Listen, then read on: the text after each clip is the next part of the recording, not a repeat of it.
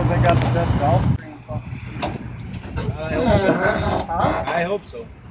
Best fucking high RPM pump rockers they sell.